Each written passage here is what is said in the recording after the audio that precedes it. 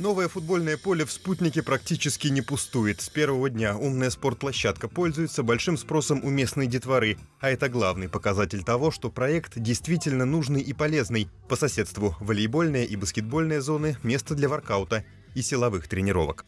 На некоторых тренажерах есть вот такие вот таблички, на которых показано, для каких групп мышц то или иное упражнение. А также внизу есть специальный QR-код. Наводим на него камеру смартфона – и в открывшемся окне получаем виртуального тренера с описанием упражнений и даже видеоурок. Во вторник вечером на территорию умной спортплощадки заехали два электрокара. Возможности сооружения оценивает полномочный представитель президента в Приволжском федеральном округе Игорь Комаров и губернатор Олег Мельниченко. На закупку оборудования было выделено более 25 миллионов рублей. Это средства федерального и регионального бюджетов. Игорь Анатольевич, да. район «Спутник», 40 тысяч человек, а детей Порядка огромное количество. Тысяч. Уже 50. Уже обсчитались. Уже обсчитались, да? Да. Игорь Анатольевич, востребованность огромная спортивными объектами, поэтому, когда выбирали, то здесь, конечно, вот с 1 сентября просто яблоко негде будет упасть. Ну, тут еще я уже рассказывал, здесь большое спортивное ядро будет у школы.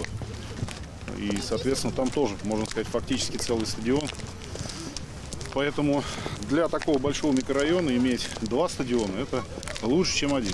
Подобная инновационная спортивная площадка для людей разного уровня физической подготовки и возраста вскоре будет открыта и в микрорайоне «Заря». Она будет точной копией этой, созданной в городе-спутнике.